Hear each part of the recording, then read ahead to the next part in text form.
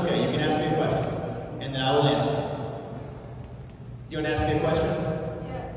You can do that. If somebody non-consensually rapes me, I'm not having their child. It is my choice, it's my body.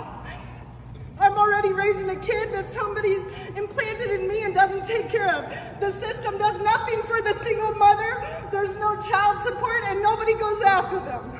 I've been raising name? a child by myself for Tell eight name. My name is Kayla Crest. And are you a mother? I am a mother. Okay, thank you. And my kid is successful, and I don't want to be frowned upon. I don't want to be put down because I'm a single mother. My kid is healthy, happy, and successful.